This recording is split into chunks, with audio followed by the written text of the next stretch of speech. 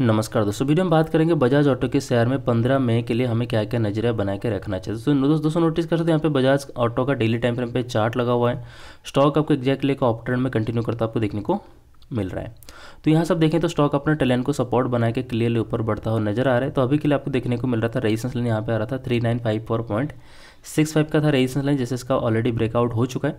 तो ब्रेकआउट होने के बाद स्टॉक आपको क्लियरली शानदार तरीके से ऊपर बढ़ता हुआ देखने को मिल रहा है। तो हालाँकि यहाँ पे और एक पे रेजिस्टेंस लाइन आ रहा था, फोर वन टू एट का देन आपको यहाँ पे देखने को मिल रहा था, फोर थ्री फोर वन को इसने सारे रेजिस्टेंस को ब्रेकआउट करके ऊपर बढ़ता हुआ नज़र आ रहा है। तो बेसिकली आपको अभी क्या करना चाहिए इसी ट्रेन लाइन पर ध्यान रखना चाहिए। जो ट्रेन लाइन आप देख रहे हैं, इस पर ध्यान रखें जैसे इसका ब्रेकआउट ब्रेकडाउन होता है तो आपको अपना स्टॉप लॉस को मेंटेन करना होगा। जैसे कि अभी देखेंगे तो आपको यहाँ पे सपोर्ट लाइन की अगर मैं बात करूँ, ऐसे तो सपोर्ट लाइन यही रहेगा। फोर थ्री, फोर वन को जो हमने लाइन ड्रॉ किया, ये इसके लिए, अभी के लिए सपोर्ट लाइन है।